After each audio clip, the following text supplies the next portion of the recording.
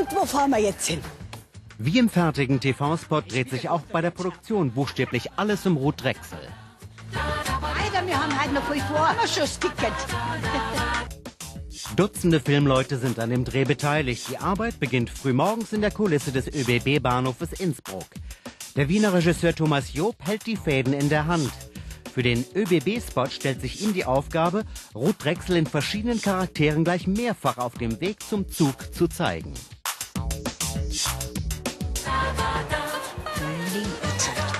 Denn die alle hin? Der junge Filmemacher hat sich schon in zahlreichen Musikvideoproduktionen bewährt, von Xavier Naidoo bis Sabrina Setlur.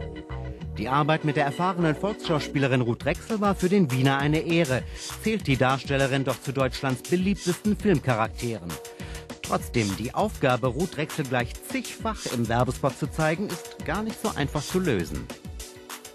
Jeder Charakter wird einzeln gedreht und jede Filmebene muss zur anderen passen. Auch die Dialoge im Bild mit mehreren Ruth Drechsels müssen punktgenau geplant werden.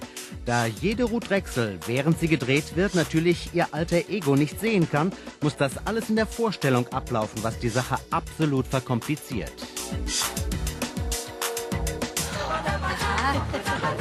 Morgen fahr ich Die Dreharbeiten gleichen einem wahren Gehirnjogging. Wenn nur eine Szene falsch abgelichtet ist, ist der spätere Schnitt zum fertigen Werbespot nicht möglich.